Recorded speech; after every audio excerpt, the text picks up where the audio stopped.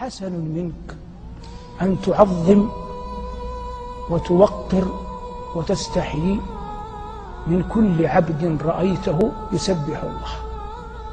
حسن منك أن تعظم وتوقر وتستحيي من كل أحد رأيته يسبح الله. جاء في الحديث أن نبيا قرصته نملة فأحرق قرية من النمل كلها فعاتبه ربه أحرقت قرية من الأمم تسبح. هلا كانت نملة واحدة؟ موضوع الشاهد منه معلم يقبل على طالبه. زوج يقبل على زوجته. مؤدب يقبل على مؤدبه.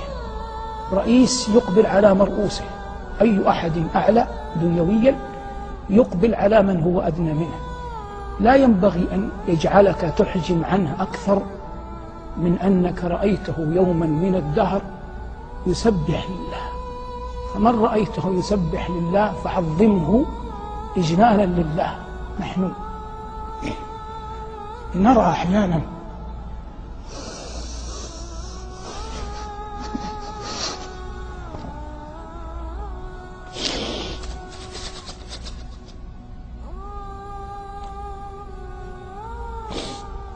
نرى من من عباد الله الصالحين.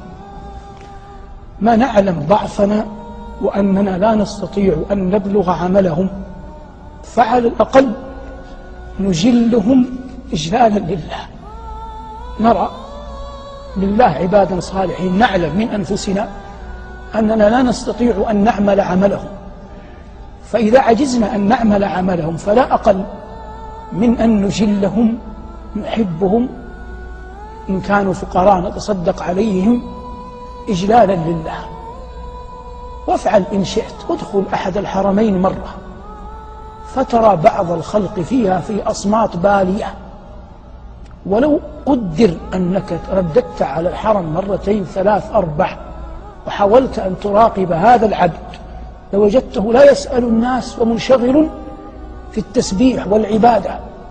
وأنت تعلم من نفسك ضعفك وأنك لا تقدر على هذا فعلى الأقل أكرمه إجلالا لله. أكرمه إجلالا لله. فما لا تقدر أن تطلبه بعملك فلا أقل من أن تطلبه بنيتك. فإن للقلوب شأنا عظيم.